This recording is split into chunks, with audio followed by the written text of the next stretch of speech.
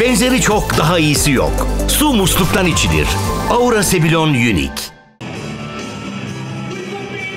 New York'taki sus payı davasında mahkum olan eski Amerika Birleşik Devletleri Başkanı Donald Trump'a bir darbede borsadan geldi. Trump'ın medya şirketinin hisseleri dava nedeniyle yaklaşık 400 milyon dolar değer kaybetti.